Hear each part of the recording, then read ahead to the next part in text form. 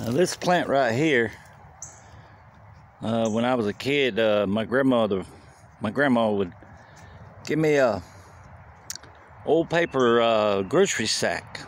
She called it a poke, and she'd tell me to go pick a, a poke full of poke salad. Now this is basically some kind of cottonwood. I don't know what it's called officially, but we called it this a poke salad. And this is a natural green. You pick these leaves off like that. All right. And you boil them down like spinach or collard greens. You cook them up, put some salt, maybe some uh, Velveeta cheddar cheese on it. And it's a green, just like spinach or collard greens or turnip greens. You cook them the same way. And I remember eating this when I was a kid.